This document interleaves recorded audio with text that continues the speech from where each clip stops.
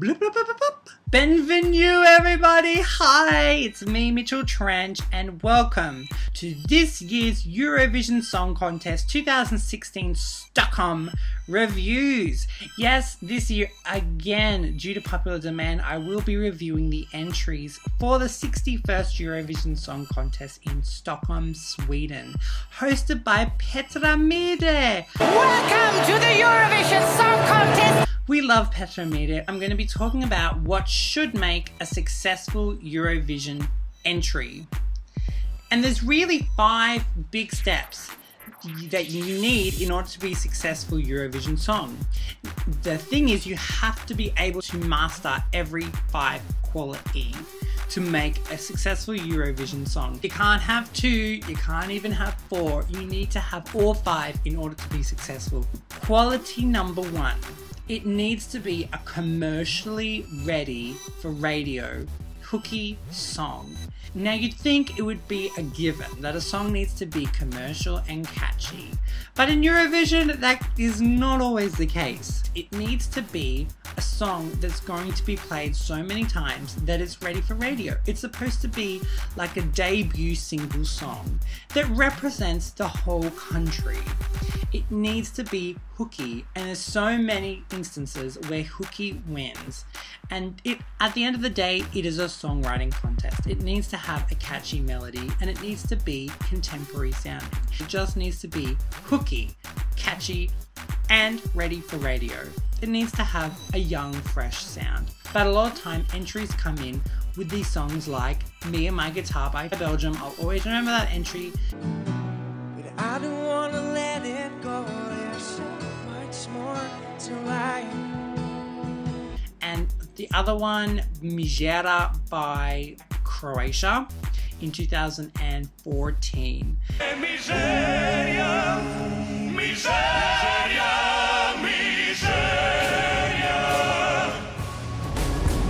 slack for criticizing that song, but uh, lovely song, not for Eurovision. You know what I mean? It has to be commercially ready. It has to be catchy. It has to be hooky. You know, that's gonna get the votes. Quality number two, it needs to be dynamic. And what that means is it has to have levels in order for it to progress. So it can start off soft. And then by the chorus, it should be a really powerful chorus. And then the second verse is a lot more powerful than the first verse, but a little bit dimmer. And then it goes back to being powerful. And then there's a crazy ass bridge. And then at the end, it's just exploding with powerhouse.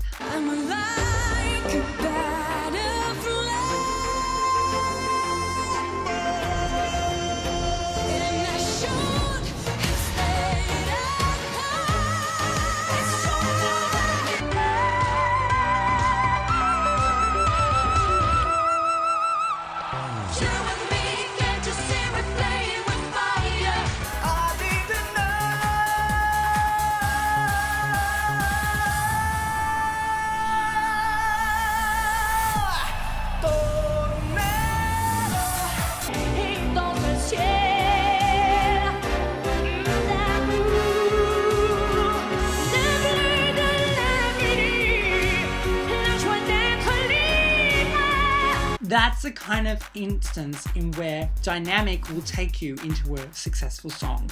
But it needs to have dynamic, and once again, Me and My Guitar by Belgium is one that stands out because I really disliked that song that year because there was no dynamic. Also, um, Calm After the Storm by Netherlands in 2014.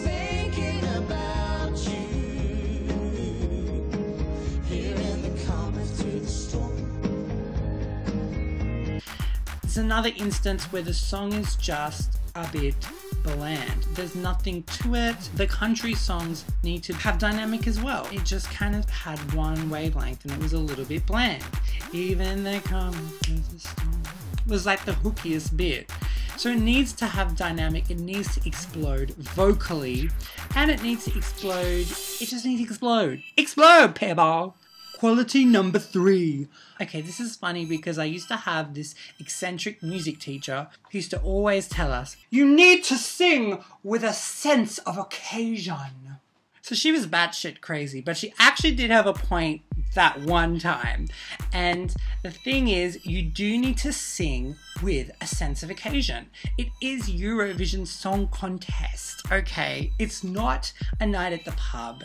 It's the biggest international song contest in the world, and you are representing your country. It's supposed to be known as the best song by that country for the whole year. And people talk to me. There's a lot of mellow songs, and I, I get slandered when I criticize a song for being too bland and not being able to win Eurovision. People go, "No, it's a perfect song. I could, I actually want it." To win Eurovision. I had people telling me that they wanted bake a cake. I've got a cake to bake. I've got no clue at all. I've got a Cake to Bake by Latvia in 2014 to win Eurovision. And this is my question. I always answer it by asking a question for these people. So, Cake to Bake, or any mellow song that people criticize me for criticizing.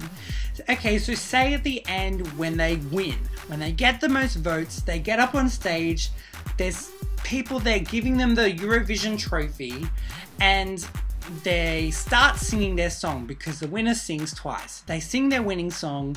There is explosions, there is fireworks, there is confetti and cheers and streamers going everywhere. And they go, We got a cake to bake. I have no clue at all. Shap, shap, shap, shap, ba doo doo. Do you think that it's going to be a big response? Do you think it's going to be a big moment?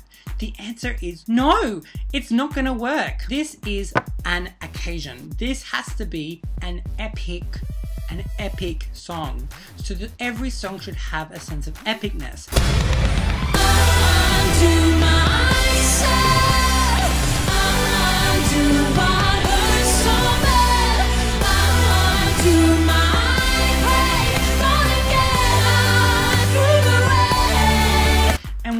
see epicness, I get really annoyed because it's a must. If it doesn't have epicness, then it shouldn't be submitted as a song to represent that country. For Eurovision, it has to be big, it has to be powerful.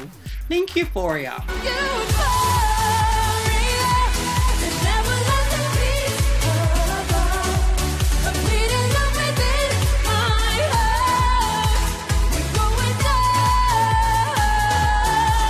Euphoria was such a perfect example as a winning song. I mean, you can look at every winning song and it's, it has a sense of epicness. They all do. Ever since Nel blu dipinto di blu. volare. Oh, oh, oh. cantare. Oh, oh, Number four, it has to have a sophisticated melody. And by that, I mean it has to be something that is smart.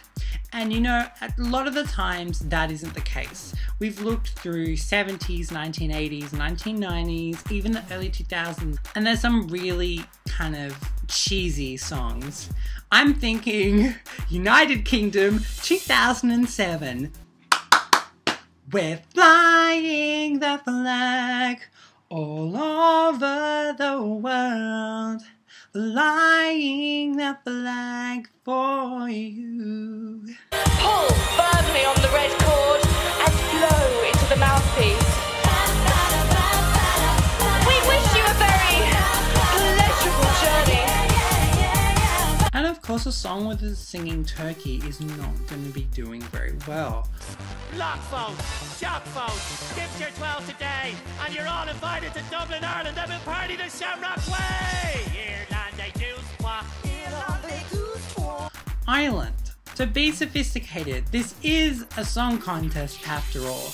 Throughout the years recently, it's gotten a lot better. Last year, people it was being praised for being such high quality in songs that it's it's getting really good. So it's it's only making Eurovision so much better. Notice I said you don't need to have sophisticated lyrics because a lot of the time, even the winning songs they don't have great lyrics, but they have a great melody. Years ago, when I was younger, I kinda liked knew.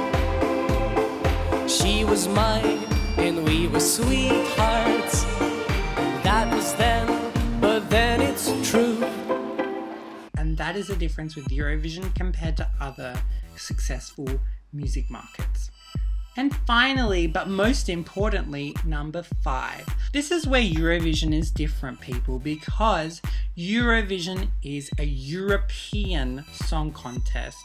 In Australia! Yeah, I know, we'll get to that later. Because of this, it's a cultural event. A country's given advantage that make, make them unique from any other country is that they get to have the use of cultural themes and motives. That means to make it culturally unique compared to the rest. And I've said this before and I'll say it again Armenia generally takes the cake for the best use of cultural motives and themes. Looking at songs like Kele Kele, Kele Kele, Kele Kele.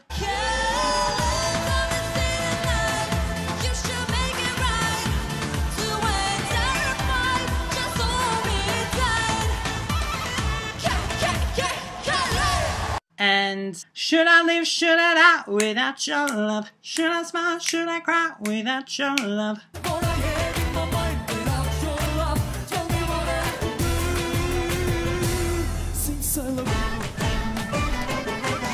And everybody move your body, we got a thing, Jan Jan. Everybody must be ready, chop it up to your Jan Jan.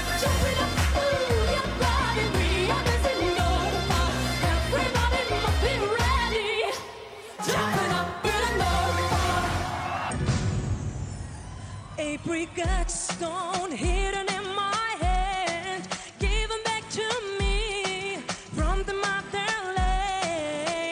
So it's just what they do. And to be fair, Azerbaijan also have some good songs as well, like oh Always on My Mind. Oh always on my mind, oh, always in my heart.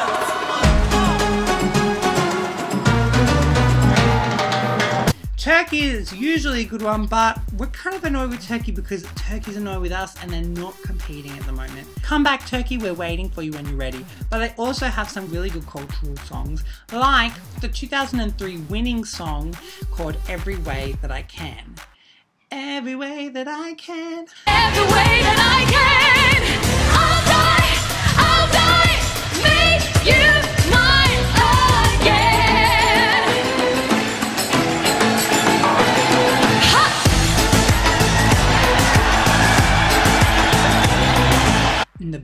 was amazing. I feel you come in a different coast, moving away from a different coast. You say you love me, but you roll your eyes.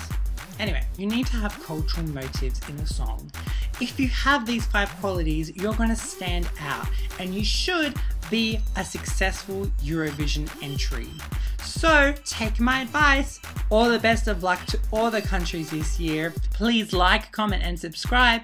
And you can check out my videos of the reviews of all the Eurovision entries for this year. So, until next time, bonsoir Europe, and bye bye.